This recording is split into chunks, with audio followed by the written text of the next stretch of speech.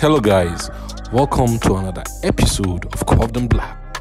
Today, the spotlight will be shining on this beautiful damsel, voluptuous and thick, curvy lady, possibly one of the thickest women in Nigeria, by the name Chocolate Brownie, aka also known as Official Wilma.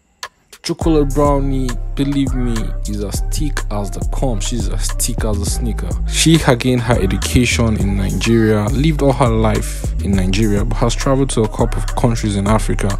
Chocolate Brown is a fast rising Instagram sensation and she's been sorted out by a lot of brands. She has influence for major brands in Nigeria and also outside Nigeria. Apart from being a media influencer, Official Brownie also has a fashion line where she does sell men clothes and she's also a masseuse amongst many other things. Please guys, lest I forget, please endeavor to smash the subscribe button please encourage us with your likes your shares and also don't forget to turn on your notification bell icon so that whenever we make this video you will be first to see them.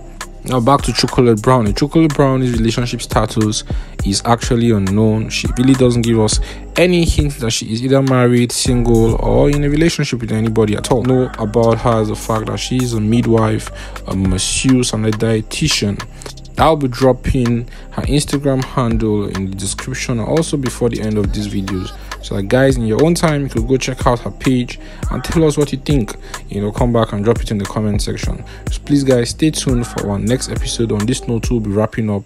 Thanks for your time. Bye.